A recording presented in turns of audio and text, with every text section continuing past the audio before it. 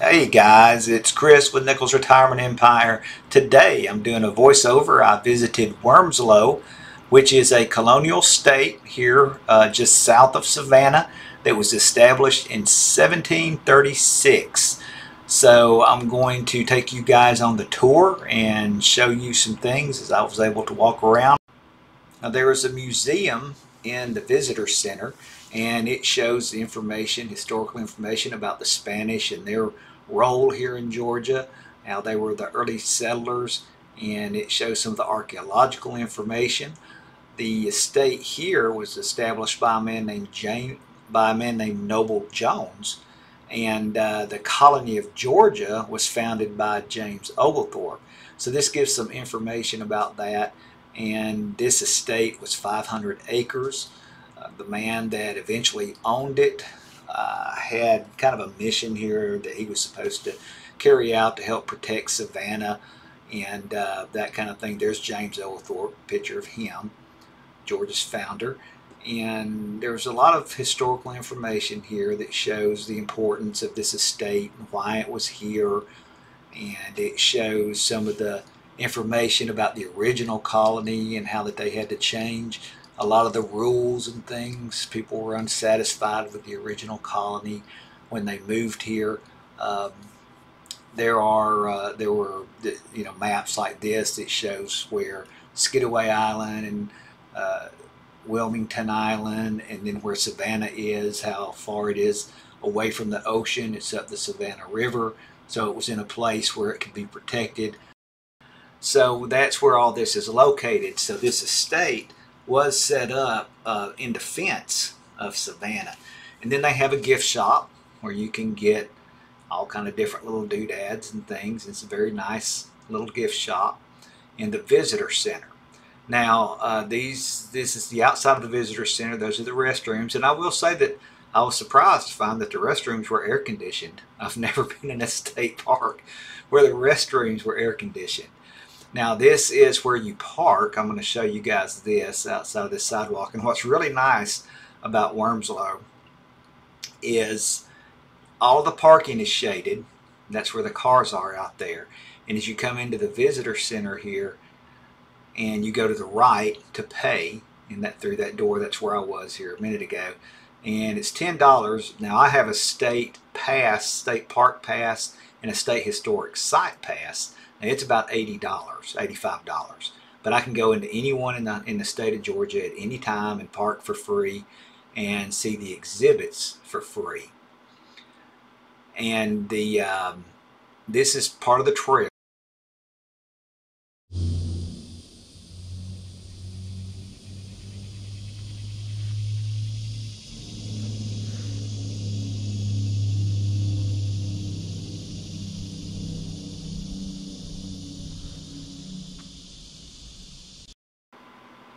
And what's really nice about this, there's nothing else back here, so you can hear the insects and the birds and everything. And, uh, you know, you get a good idea of what the, you know, what it looked like, you know, back in the, in the early 1700s and what they would have had to live through and what they would have had to do to establish a state like this. Now, what they did is they built, this is, uh, it looks like a really, really big house, but the walls that you see standing there were actually the walls that surrounded the courtyard and then the house was inside. The house wasn't really very big. Uh, as a matter of fact, when I looked at when I first walked up, I thought, well, this is a good sized house. And then when I saw where the house actually was, I'm like, well, that's like the size of my swimming pool. you, know, you can see that the house made up a very small portion of the whole tabby uh, structure here. Now tabby is made from lime and oyster shells, I believe, and sand. And so they're taking stuff from, you know, from the environment there that they can build, and it's pretty much like concrete, uh, basically. And you would you, you would work with it like concrete. So uh, they have this little rail around it. You're not supposed to go out there and touch the walls or you know mess with the side or anything like that and uh, this the family, the Jones family, has held that estate, uh, this portion of it, until the 1970s, where they I think they sold it to the state of Georgia. But right out of the back, you can go back here and there's a marsh. Um, and out way past the marsh out there, there's an island at the very, you can barely see it out there. And that's where they had a, um, a company of Marines that Noble Jones, the original owner, uh, basically commanded, and they were supposed to help protect Savannah from invasion because uh, the Spanish had uh, had not been long gone from Georgia, and as a matter of fact, they did have some altercations with the Spanish while he was trying to establish his uh, his house. Here's an old cedar tree that overlooks the marsh out there behind where the house was, and that was the uh, burial plot for the family. didn't look like anybody else used it, but uh, maybe the first owner. There's a good picture of the house. It says it was uh, in in 1736 uh, when he got the the property, and then eventually uh, he was able to own the property and not just lease it. And they have a couple of uh, you know little piers you can kind of go out on and look out across the marsh. The, real, the water was really really high on this day. And uh, as you walk the trail, what it does, it takes you in a circle, and it's about a 30 minute walk. And so you can kind of see, you know, a lot of things. I saw, I saw a deer. Uh, there's alligators there. There's all kind of stuff that you could potentially see. Then they have one section of the trail where they show you like a little historic, um, you know, house kind of a thing here.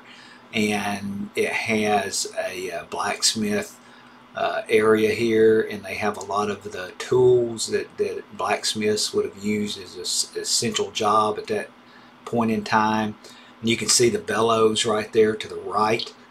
And uh, it's kind of crazy to think how much effort it would take to sit there and pump those bellows to keep that fire hot enough. So, I mean, they had to do it all. They had to work the metal, uh, tend the fire, make sure it was hot enough. You know, I mean, that was a physical, hard uh, laborious job to be a blacksmith and really to do anything back then. There's a kiln uh, that shows you how they can make pottery, that kind of thing. Because you have to realize anything they got that was that was produced uh, in a factory or anything came from Europe, came from England. You know, they, they didn't have stuff here uh, unless you got it shipped down from Boston or somewhere like that. And this house is a little bit different kind of structure. I think they called it wattle and um, I can't think of the other name for it, but basically it's sticks woven together like what it shows right there with um, clay and stuff like that to make a wall. And you can see they have some of it unfinished so you can see the way it looks. This is the front of the house and you can see one of the main things they would have to make sure they had was wood uh, to be able to, to heat the home, even though it doesn't get very cold in Savannah. But um, to have a fire, you know, to cook and things like that, you can see the size uh, once you get in there. It's not very big, of course. And um, you get a good idea of how something like this would have been constructed. And um, a wattle and dab house, wattle and daub house, that's what they call it. Um, and you can see how that wall there, that's a good example of that. And then they had up in the, the attic, they had like their bed, bedroom, and uh, again, you can see not very big, very simple. Of course, it had a dirt floor, uh, things like that.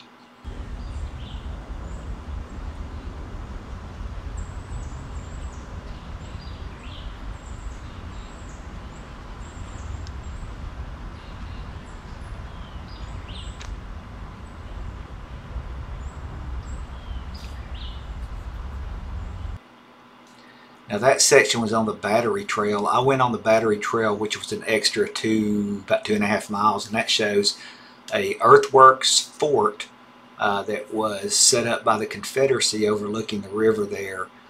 And there's nothing left to it. Like I'm showing you where it is, but really there's just like humps on the ground. Uh, you really have to kind of stare at it to tell where you know the the fort was. So again, it was just made from dirt, um, and it, you can see it overlooked this river.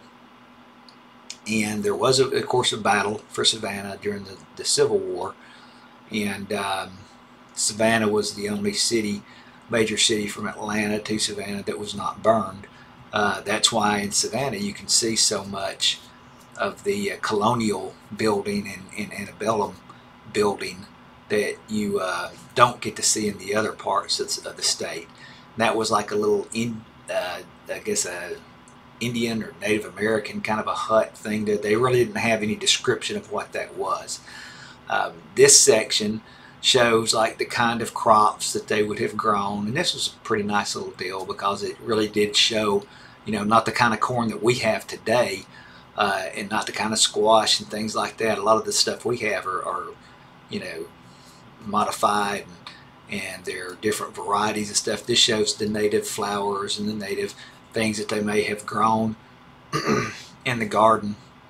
And of course, again, you know, these people, you know, in, the, in, a place like this had to grow all their own food, had to uh, process all their own meat, everything they got. They had to be self-sustaining uh, for an estate like this and, you know, have, have enough for everybody that worked. Uh, so all these things were very, very important. And I don't know, they didn't really talk about how many people worked there or how many, you know, if they had slaves, I'm sure they, they did. Uh, it didn't talk about, uh, there are a lot of things, you know, historically that it didn't tell on the trail. Um, but as far as being able to walk around and see some of these things, it was a nice uh, little, little, walk. Now you, you need to be prepared to walk. It's going to be at the minimum a 30, 40 minute walk. And, um, you know, obviously it's, it's Savannah, Georgia. It's hot. And, um, you need to be prepared for bugs and things like that and, and have water and that kind of thing. So it's not too bad of a walk, but uh, it is a walk. So just make sure you, you understand that. And they had a couple of other trails that were much longer. I think they had one trail, the one that I went on, that was like 2.3 miles a loop. And then there was another trail that went all the way around that I think was like nine miles or something crazy. I didn't go on that one. But uh, there's some okra and corn and things like that. You can see the things. They had black-eyed peas. And then you come out of the trail to the back. And in the back, this is where the bus is parked. And again, everything was shaded. The trail was shaded. So uh, it was a very nice, very nice visit and a reasonable price, I felt. And this is exiting the gates. Thanks for watching Nichols Retirement Empire, guys.